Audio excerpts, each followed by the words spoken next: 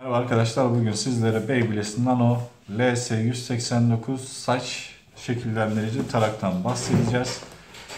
Hemen kutu içerisiyle bir başlayalım ürünü anlatmaya sizlere. Ürün kutu içerisinden bir adet ürün çıkmaktadır. Bir adet de e, nasıl kullanılacağına dair İngilizce kullanım kılavuzu çıkmaktadır. Zaten bildiğiniz bir cihaz. Hemen şöyle başlayalım.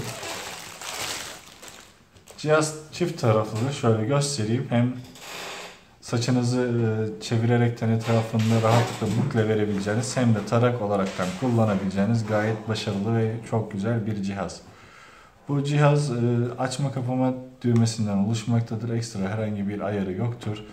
Yapmanız gereken tek şey saçlarınızı tarayarak düzleştirmek isterseniz düz olarak kullanmak ya da saçlarınıza şekil vermek yani bukle görüntüsü oldurmak isterseniz de Saçlarınızı tarağın etrafına zaten burada da yine mevcuttur düzleşti bukle vermeniz için e, verevliği yani yuvarlaklığı mevcuttur. Bukle vermek için rahatlıkla çevresinde döndürdükten sonra belli bir süre ısındıktan sonra biliyorsunuz zaten saçlarınız şekillenmeye başlıyor. Görmüş olduğunuz cihaz kolay kullanımı ve güzel kullanımı sayesinde rahatlıkla kullanacağınız, yanınızdan ayırmayacağınız, eksik etmeyeceğiniz bir ürün haline gelecektir.